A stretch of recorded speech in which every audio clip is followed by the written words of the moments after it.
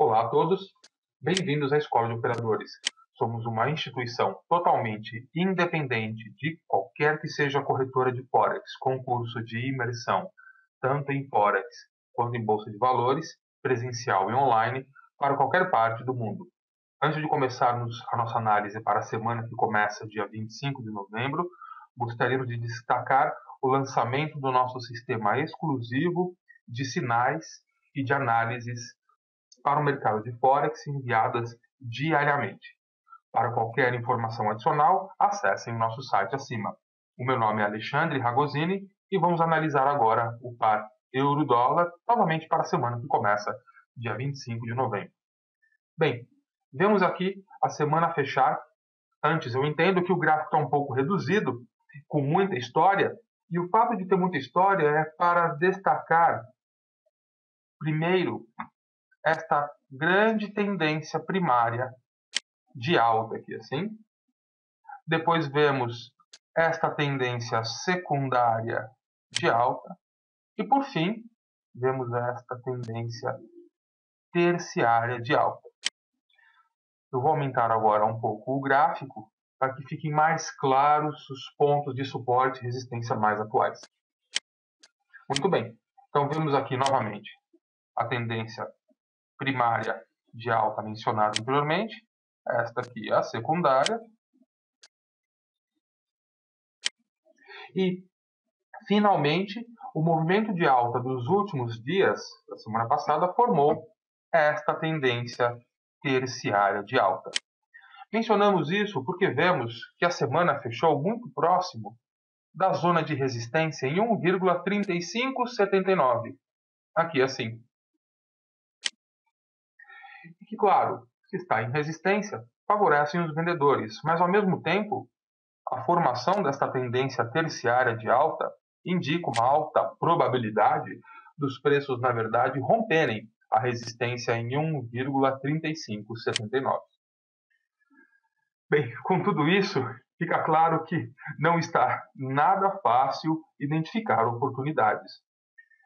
Mas, ao mesmo tempo, temos que fazer o que sempre fazemos: nos basear em suportes e resistências mais atuais, principalmente observar a tendência principal, que no caso aparenta ser de alta. Com isso, vamos buscar então as seguintes oportunidades de longo prazo. Aqui eu ampliei um pouco mais o gráfico para que fique melhor para visualizar essas oportunidades.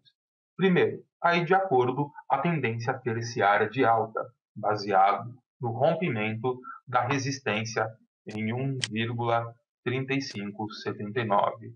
Aqui assim. Então, compra acima das resistências 1,3591, aqui assim, e principalmente de 1,3655 desta resistência atual, com o stop em 1,3545, aqui assim, e limites em 1,3700 aqui.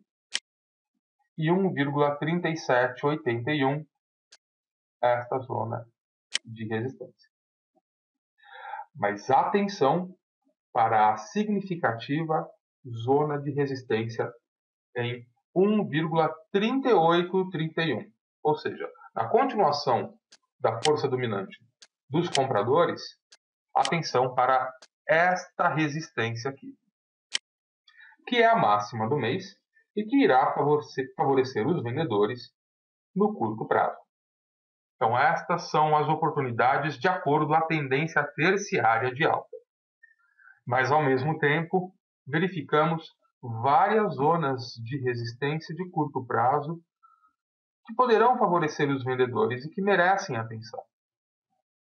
Principalmente o ponto pivô central mensal, que está em 1,3625, aproximadamente aqui. Então vemos uma venda de curto prazo em 1,3625, com stop em 1,3645, stop bem curto, e limite em 1,35 85. Caso o pivô central mensal em 1,3625 realmente favoreça vendas no curto prazo, vemos novas oportunidades de vendas apenas abaixo de 1,3545, este suporte aqui atual, e principalmente 1,3531, com novo limite também curto no número arredondado 1,3503. É isso então. Acessem o nosso site acima para se cadastrarem em nossa newsletter semanal gratuita e para conhecerem mais sobre o nosso boletim diário, o nosso sistema de de envio diário de sinais e oportunidades de compra e venda para o mercado de forex. Muito obrigado e bons negócios.